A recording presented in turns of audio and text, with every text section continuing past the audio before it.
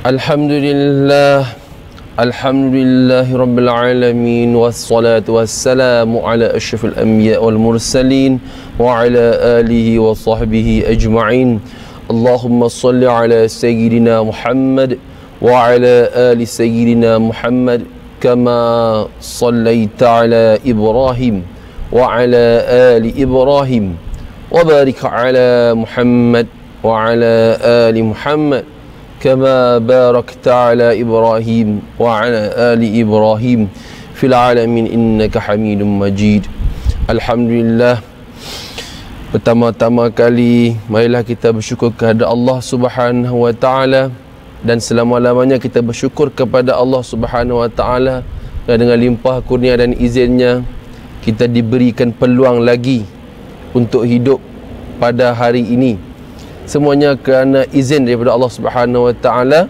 yang membenarkan kita bangun dari tidur ya melaksanakan ibadah bersolat subuh secara berjemaah di rumah-rumah terutamanya pada musim COVID-19 ni. Mudah-mudahan sama-sama kita doa kepada Allah minta kepada Allah Subhanahu Wa Taala agar Allah Subhanahu Wa Taala mengangkat COVID-19 ini supaya kembali ke tempat asalnya dan dapatlah mudah-mudahan dapatlah sama-sama kita kembali datang ke masjid ke surau bersama-sama berjemaah ya. Datang beramai-ramai sekeluarga datang ke masjid ke surau berjemaah untuk melaksanakan ibadah iaitu melaksanakan uh, tanggungjawab sebagai hamba Allah Subhanahu wa taala.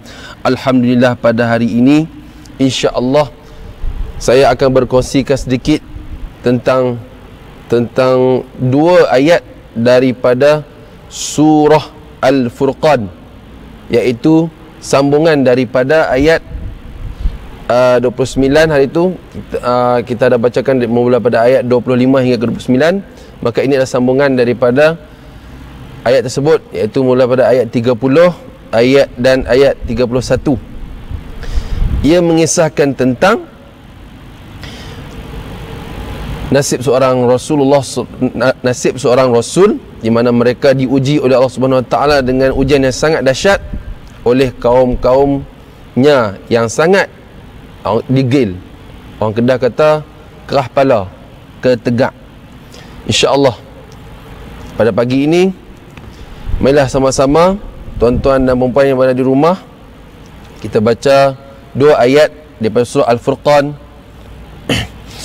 insya-Allah أعوذ بالله من الشيطان الرجيم.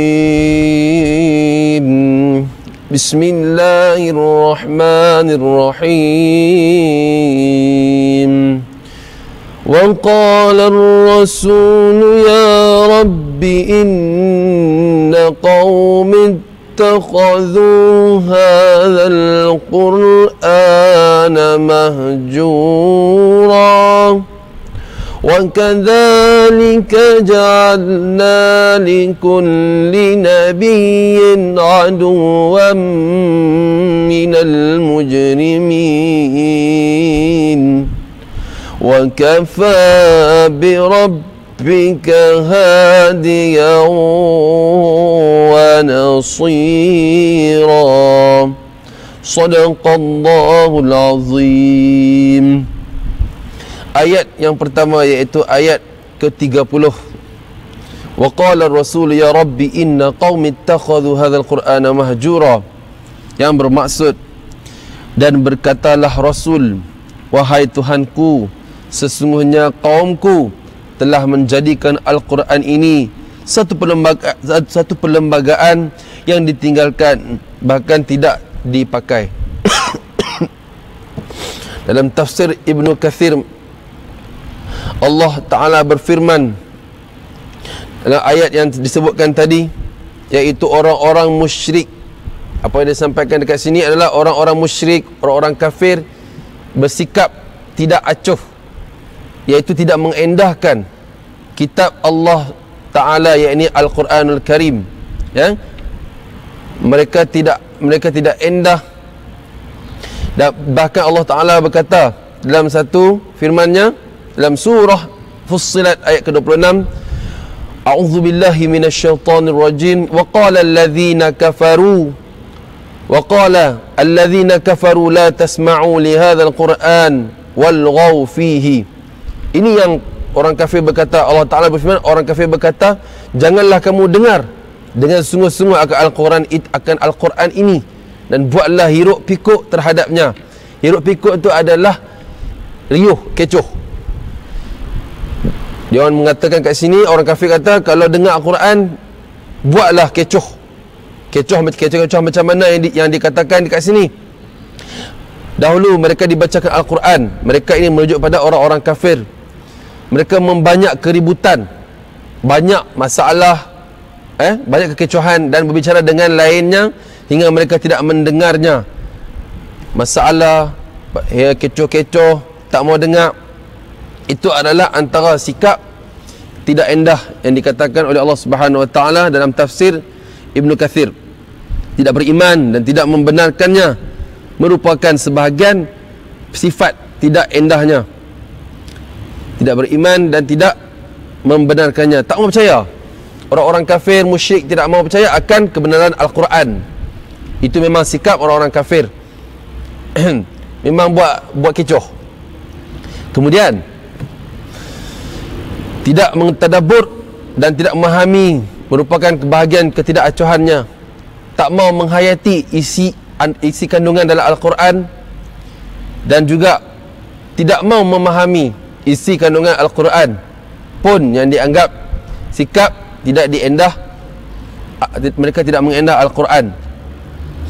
Lagi tidak mengamalkan dan tidak menjunjung tinggi perintah perintahnya iaitu Allah Subhanahu Wa Taala dan tidak menjauhi larangannya merupakan bahagian ketidakacuhannya tak mau beramal tak mau menyanjung tinggi tak mau hormat kepada Al-Quran ya? dan juga tidak mau menjauhi apa yang Allah Subhanahu Wa Taala larang ya? mereka melakukan bahkan mereka terus menerus melakukan larangan Allah Subhanahu Wa Taala ini kita orang-orang kafir musyrik kalau kata kita lah ni lah. Orang-orang yang tidak mahu ikut ajaran Rasulullah sallallahu alaihi wasallam ya. Ini kerana mereka tidak mereka bersikap sombong ya? tidak mahu membenarkan ayat al-Quran. Suka dengan kehidupan sendiri. Bahkan ada yang mengatakan dalam media sosial kata aku menjadi diri aku sendiri aku tidak mahu hipokrit. Tanggapan individu tersebut amat-amatlah salah eh? Kerana ini dunia Allah, bumi Allah. Kalau nak ikut diri sendiri, cari hidup sendiri, pergilah ha, ke dunia sendiri. Buatlah dunia sendiri. Barulah itiraf perkataan tu. Ada seorang individu ni. Saya dah baca pada dalam media sosial. Boleh dia cakap macam tu. Subhanallah. kita berada di dunia Allah Subhanahu Wa Taala maka kita kena ikut dan patuh dalam akan perintah Allah Subhanahu Wa Taala. Maka itu kesimpulan daripada ayat 30 Sifat ketidakacuhan Tidak mau endah orang kafir ni Dia, tak, dia tidak beramal ya? Dia tidak beriman Tidak mau percaya dan tidak, bahkan tidak membenarkan Al-Quran Dan mengecoh-gecoh Buat hingat-hingat Macam orang-orang Yahudi lah. Lebih kurang lah. Mereka ni dua geng. Maka kita lihat firman Allah Subhanahu Wa Taala ayat seterusnya yang yang ke-31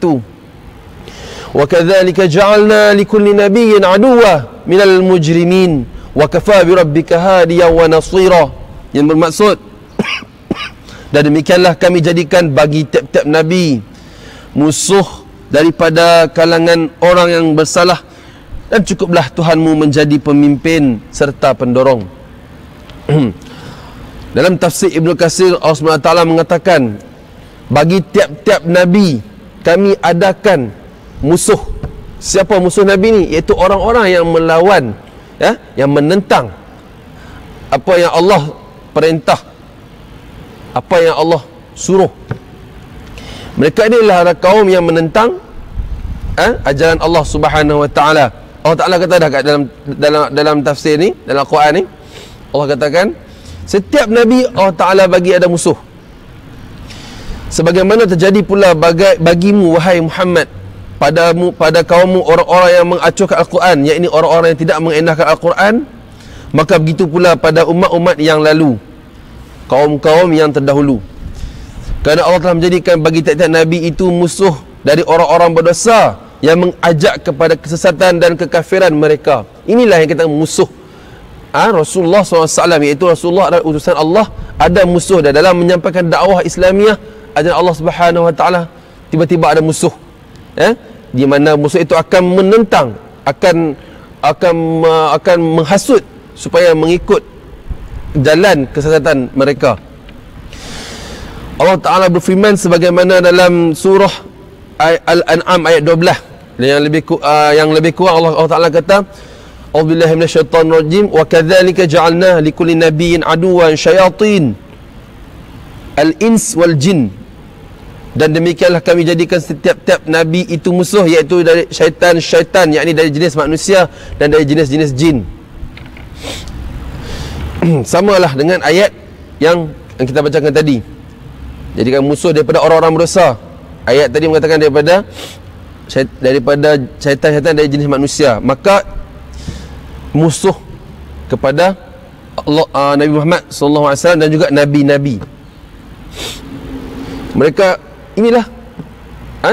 mereka ingin menyesatkan semua target dakwah contoh uh, kita da- kita target kawan ni tengok-tengok ada geng ada puak-puak yang cuba merosakkan menyesatkan iaitu dengan mula mentebarkan fitnah antaranya. Eh kita datang hari ni pada pada hamba Allah ni. Hamba Allah ni baru nak kena Islam. Contoh daripada kata hari ni dia baru nak kena Islam. Kita kita bagi tahu dia Islam macam ni Islam macam tu Islam macam ni. Sampai dia sampai dia membenarkan Islam sampai dia ikut Islam. Tetapi dalam masa yang sama Allah Taala memberi ujian. Ada juga eh apa puak-puak yang ingin merosakkan dan menjahanamkan Islam. Itu cuma mensebarkan fitnah. Islam itu tak bagus Islam itu macam ni macam ni. Menyekat ini menyekat itu menyekat ini. Dan seumpamanya itu adalah antara yang dikatakan hasutan orang-orang kafir ya di mana orang-orang kafir ni kita boleh katakan orang-orang yang tak mau ikut ajaran Allah.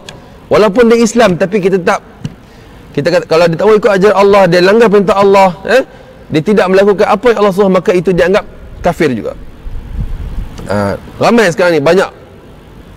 Nama Islam tetapi tidak mengamalkan gaya hidup dan ibadah ah, gaya hidup Islam tidak mengikut perintah Allah bahkan melakukan segala apa yang dilarang oleh Allah Subhanahu Wa Taala mudah-mudahan kita dijauhkan daripada kita jauh kita doakan eh?